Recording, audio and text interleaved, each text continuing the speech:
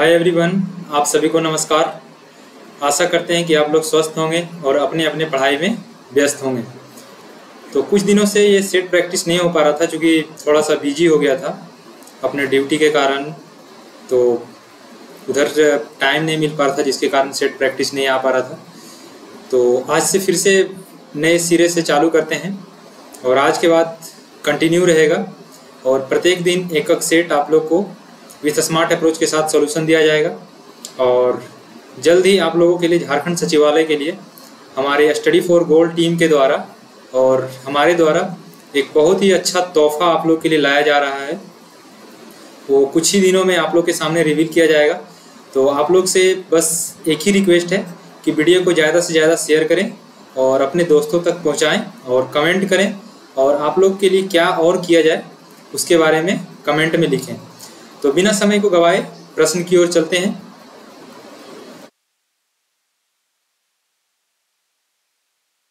पहला प्रश्न है सभी संख्या 50, 70, 110 और 170 में कौन सी संख्या घटाने से यह संख्याएँ अनुपातिक में हो जाएगी? तो सबसे पहले आप लोग को जानकारी होना चाहिए कि अनुपात क्या होता है। ए बी सी और डी ये अनुपात है यानी प्रपोर्शनल में है। इसका मतलब क्या है? कि A by B equal to C by D अब यहाँ प्रश्न में दिया गया है कि क्या घटाया जाए? तो सपोज़ 50 में कुछ घटाते हैं डिवाइडेड बाय 70 में कुछ घटाते हैं इक्वल टू 110 में कुछ घटाते हैं डिवाइडेड बाय 170 में कुछ घटाते हैं। तो इस प्रकार का अप्रोच जब आए तो x को सॉल्व करने के लिए क्रॉस मल्टीप्लिकेशन नहीं करना है। इसका स्मार्ट तरीका हमने बताया था पिछले क्लास में। कि सबसे पहले डिफरेंस देखते हैं। यहाँ डिफरेंस कितना है? 60 यहाँ पे डिफरेंस कितना है? 20 अब इस डिफरेंस को इक्वल करना है। तो इसको 60 करने के लिए तीन से मल्टीप्लाई करेंगे। और जब तीन से मल्टीप्लाई करेंगे तो न्यूमिनेटर और डिनोमिनेटर जगह मल्टीप्लाई करेंगे। तो कितना हो जाएगा? पचास या डेढ़ सौ minus three X equal to numerator इसका और इसका न्यूमिनेटर आपस में इक्वल हो जाएगा।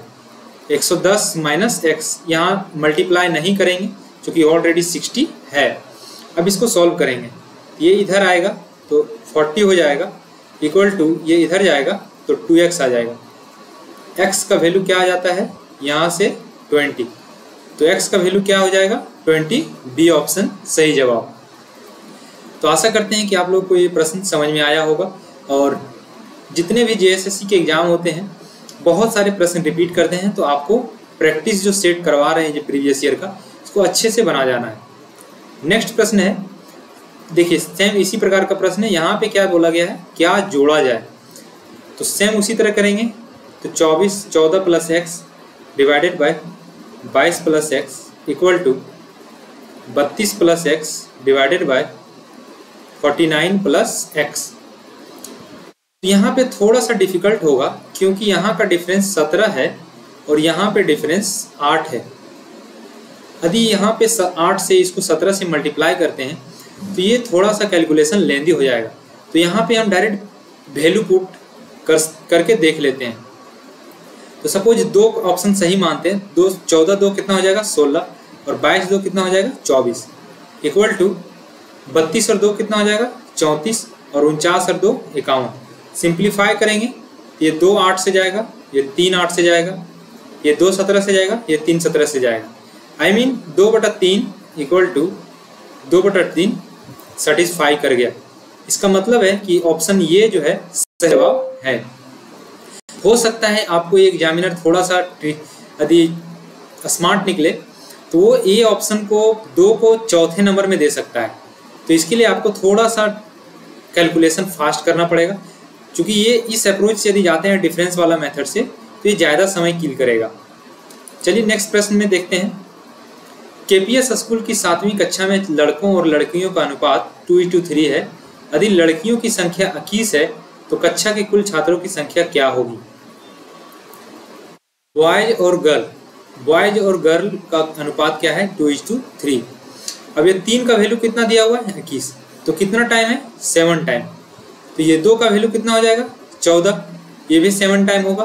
तो टोटल कितना हो गया? चौदह और इक्कीस, छत्तीस. सॉरी चौदह और इक्कीस कितना हो जाएगा? पैंतीस। ये ऑप्शन सही जवाब। नेक्स्ट प्रश्न है, किसी वस्तु को बारह सौ रुपया में बेचने पर प्राप्त लाभ उसे छः सौ में बेचने में उठाए गए हानि का दोगुना है। सपोज़ इस प्रश्न को कैसे करेंगे? यहाँ पे उसका सपोज़ कॉस्ट प्राइस था। अब ये इधर बेच रहा है तो फ़ायदा हो रहा है। इधर बेच रहा है तो नुकसान हो रहा है। बारह सौ रुपया में बेच रहा है तो क्या हो रहा है? फ़ायदा। और छः सौ में बेच रहा है तो क्या हो रहा है? नुकसान। तो कुछ प्रश्न में दिया गया है कि जो नुकसान है, नुकसान एक है तो फ़ायदा कितना है? दो। तो यहाँ से यहाँ तक कितना यूनिट चले हैं? एक और दो, तीन यूनिट। और रुपीज़ में कितना चले हैं? छः से बारह सौ मतलब छः सौ। तो एक का वैल्यू क्या हो जाएगा? दो सौ। तो इस एक का वैल्यू क्या हो गया? दो सौ। अब प्रश्न में पूछा गया है क्रय मूल्य क्या है? तो छः सौ रुपया और दो सौ क्रय मूल्य कॉस्ट प्राइस तक आने के लिए, ये दूरी चलना पड़ेगा। तो 600 और 200 कितना हो गया? 800 ऑप्शन नंबर सी सही जवाब हो जाएगा। आशा करते हैं आप लोग को समझ आ रहा हो और इतनी गर्मी में आप लोग के लिए क्लास लाया जा रहा है। तो कोशिश करें कि ज़्यादा से ज़्यादा दोस्तों तक पहुंचाएँ और लाइक करें और सब्सक्राइब करें। नेक्स्ट प्रश्न देखते हैं। राधिका का मासिक वेतन सोलह हज़ार रुपया है और एक साल के बाद उसके वेतन में वृद्धि होकर सोलह हज़ार आठ सौ हो जाता है। तो उसके वेतन वृद्धि का प्रतिशत क्या है? तो जब भी प्रतिशत वृद्धि या परसेंटेज इंक्रीज या डिक्रीज का प्रश्न पूछा है तो रेशियो निकालते हैं। ये क्या हो गया? सोलह हज़ार और सोलह हज़ार आठ सौ। दो ज़ीरो से दो ज़ीरो कट जाएगा।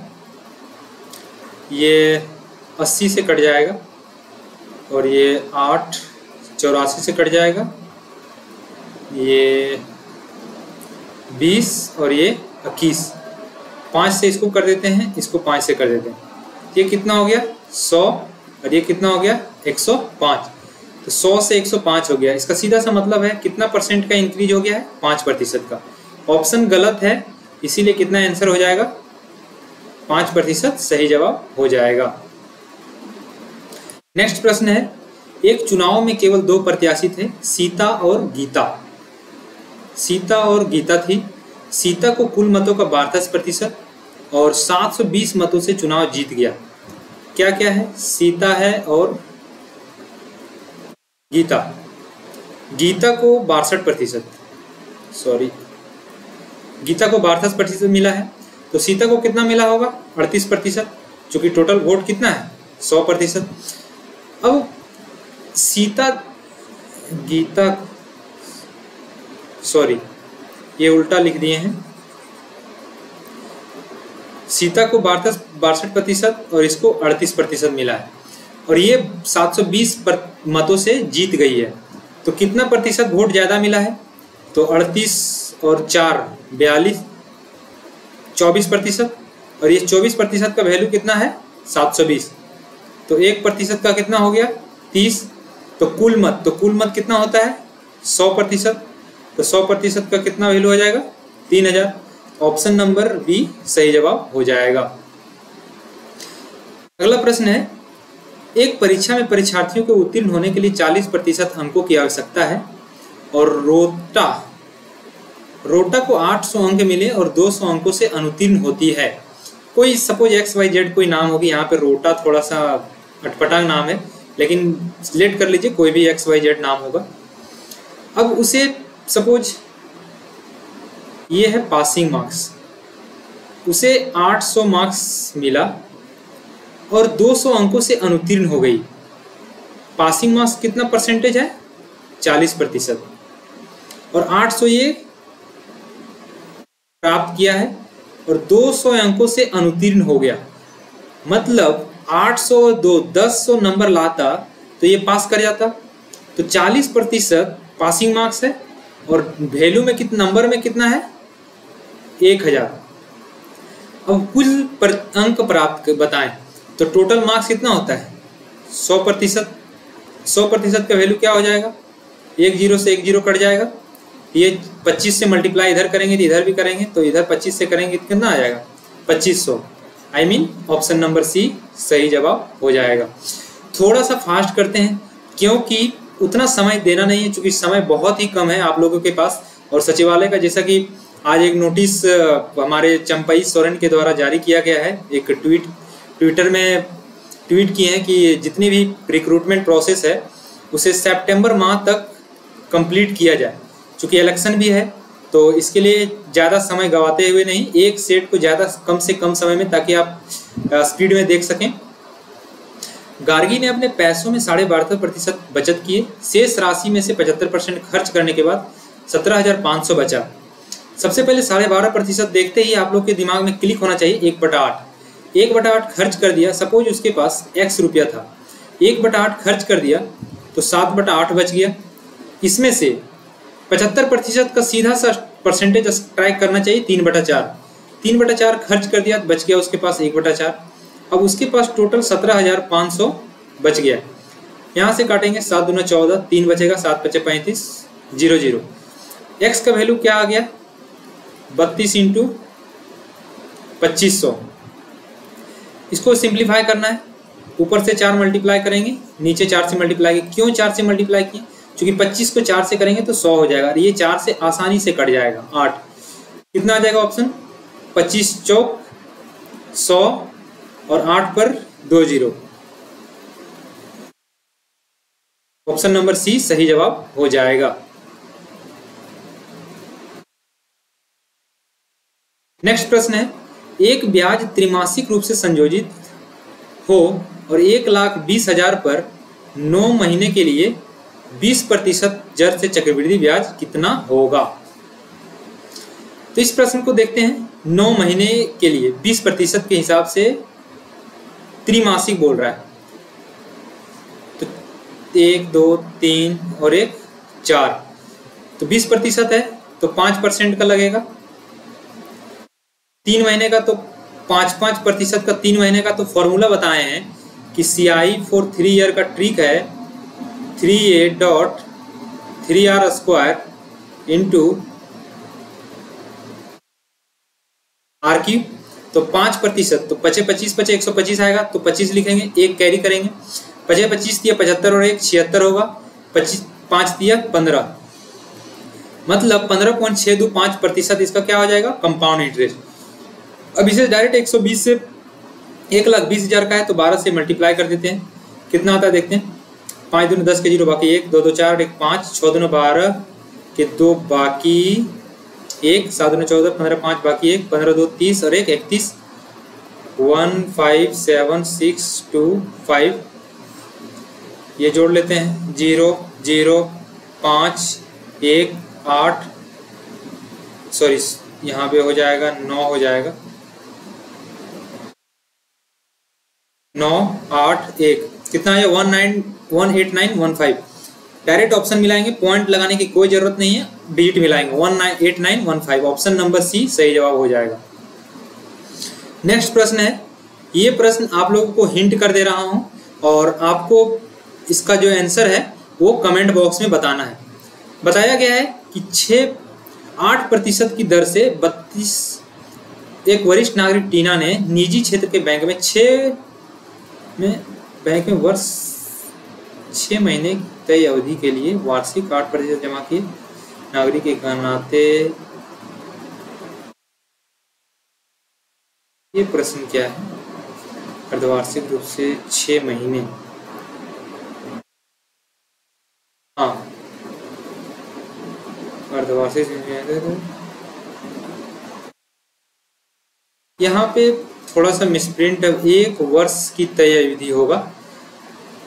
तो आठ प्रतिशत है तो एक वर्ष के लिए दो पार्ट में डिवाइड होगा तो चार प्रतिशत और चार प्रतिशत होगा। अब उसे अतिरिक्त ज़ीरो पॉइंट फाइव प्रतिशत का लाभ दिया जा रहा है। तो अर्धवार्षिक होगा तो परिवर्तन कितनी राशि मिलेगी? तो सपोज़ तीन लाख बीस हज़ार था। इस पे कितना मिल रहा है? चार प्रतिशत और ज़ीरो पॉइंट फाइव प्रतिशत। मतलब फोर पॉइंट फाइव प्रतिशत का मिलेगा उसे।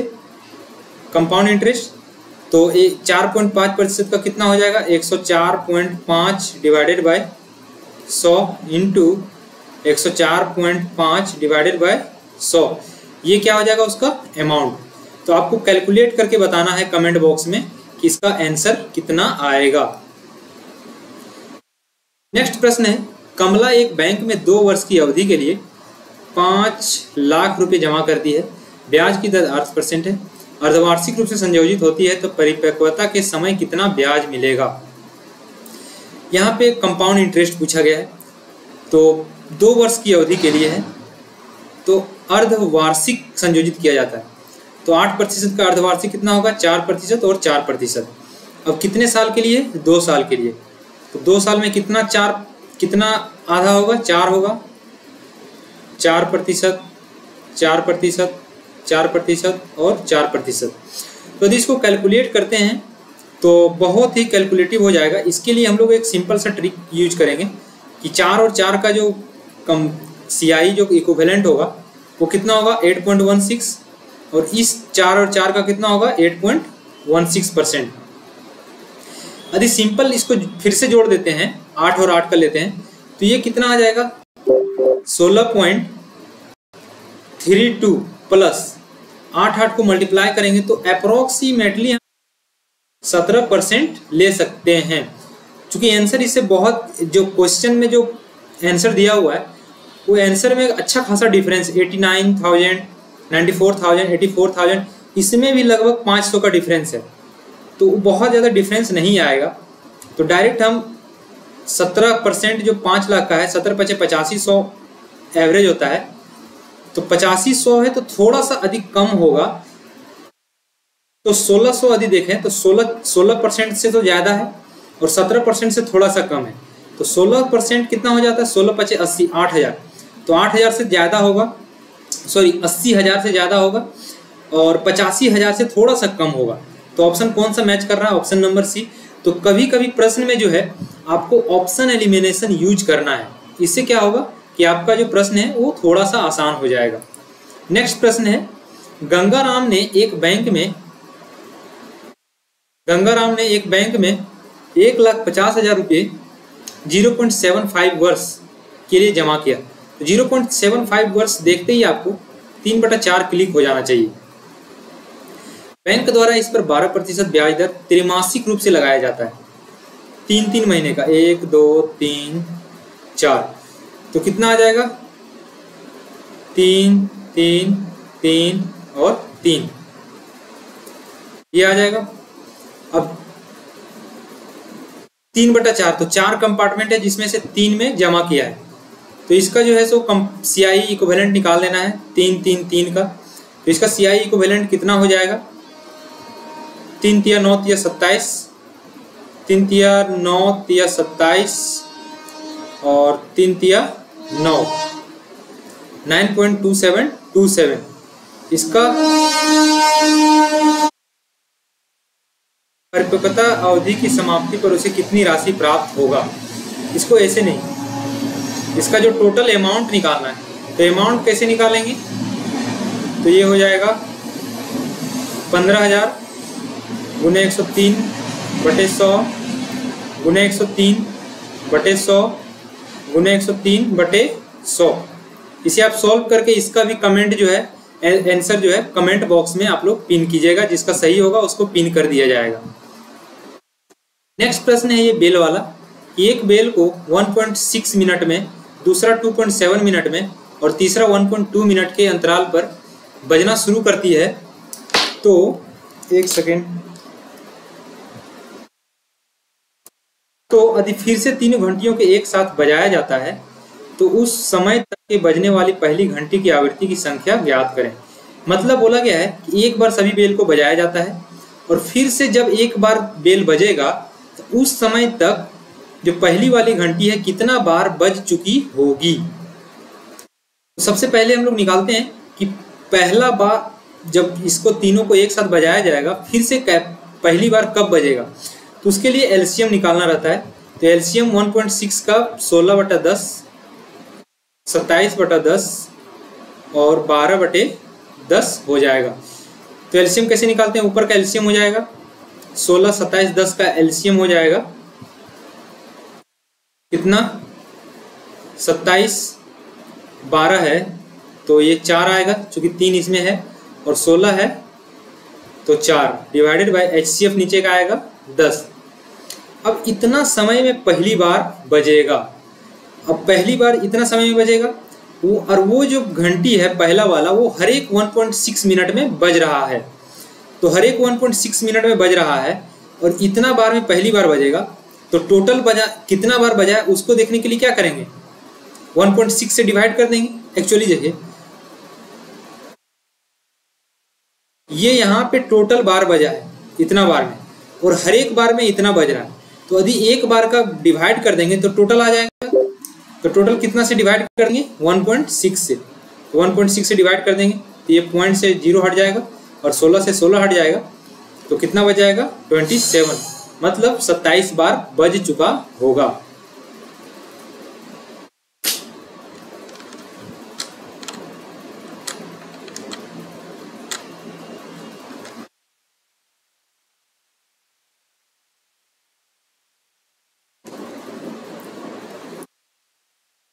नेक्स्ट प्रश्न है। रामलाल ने अपने उत्पाद की अंकित कीमत को लागत कीमत से 50 प्रतिशत तक बढ़ाकर निर्धारित किया था। बिक्री के समय उसे कितनी छूट देनी चाहिए जिससे कि उसे ना तो लाभ हो, ना ही हानि हो? सपोज़ मास प्राइस और कॉस्ट प्राइस 50 परसेंट इंक्रीज किया है तो दो से कितना हो जाएगा? तीन। और सेलिंग प्राइस ना तो लाभ हो, ना तो हानि। मतलब सेलिंग प्राइस को भी दो रखना पड़ेगा। तो तीन का सामान कितने में बेच रहा है? दो में। तो कितना छूट देना पड़ेगा? एक बटा तीन मतलब ज़ीरो पॉइंट तीन तीन प्रतिशत। नेक्स्ट प्रश्न है, यदि एक टंकी को एक ही समय दो पाइपों से छः घंटों में भरा जाता है और एक पाइप यहाँ पे थोड़ा सा सुधार लीजिएगा, ये पाँच घंटा तेज़ी से होगा तो तेज वाले पाइप टंकी को कितने देर में भरेगा? तो जिससे सपोज़ करें, कोई पाइप एक्स एक्स घंटे में भर रहा था। और दूसरा तेज़ी से भर रहा है तो एक्स माइनस पाँच घंटे में भरेगा। इसका वैल्यू कितना है? वन बाई सिक्स इसको सॉल्व करेंगे। तो ये आ जाएगा टू एक्स माइनस फाइव और एक्स स्क्वायर माइनस पाँच x equal to one by six ये आ जाएगा एक्स स्क्वायर माइनस पाँच एक्स इक्वल टू छः दुना बारह एक्स माइनस तीस। ये बारह पाँच आ जाएगा एक्स स्क्वायर माइनस सत्रह एक्स प्लस तीस इक्वल टू ज़ीरो इसको ब्रेक कर देंगे। एक्स स्क्वायर माइनस पंद्रह x minus two x plus two zero तो इसको एल्शियम लेंगे तो एक्स इंटू एक्स माइनस पंद्रह आएगा। माइनस टू एक्स माइनस पंद्रह इक्वल टू ज़ीरो तो एक्स का वैल्यू एक टू आ जा रहा है और एक पंद्रह। तो टू सेटिस्फाइड नहीं होगा तो पंद्रह होगा तो पंद्रह माइनस पाँच मतलब जो तेज से भर रहा है वो दस घंटे में भर देगा।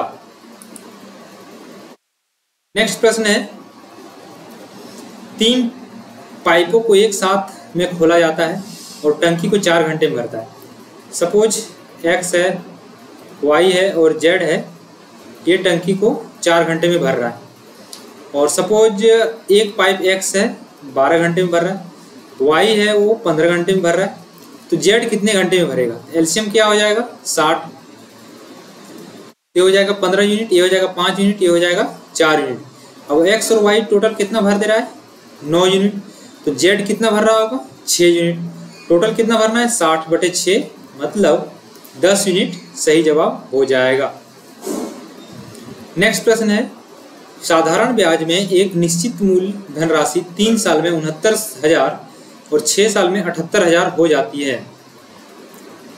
सपोज़ यहाँ पे प्रिंसिपल था, तीन साल के बाद उनहत्तर हज़ार और फिर तीन साल के बाद अठहत्तर हज़ार हो जा रहा है। तो इस तीन साल में कितना बढ़ाइए? नौ हज़ार।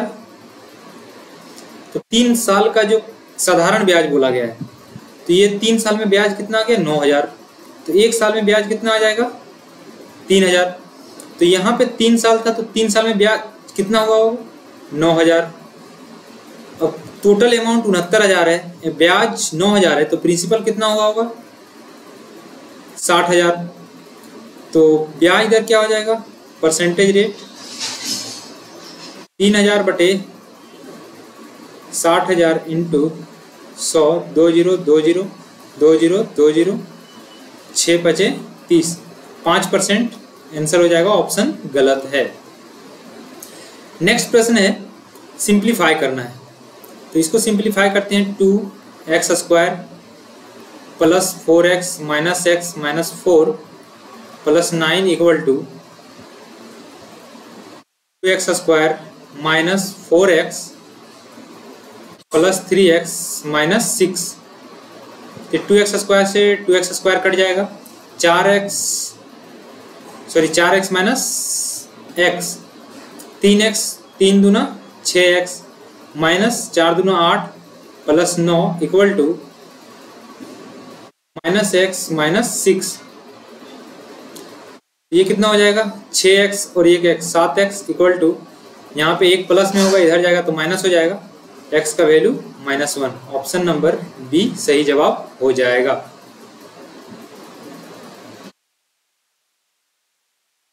नेक्स्ट प्रश्न है। बीस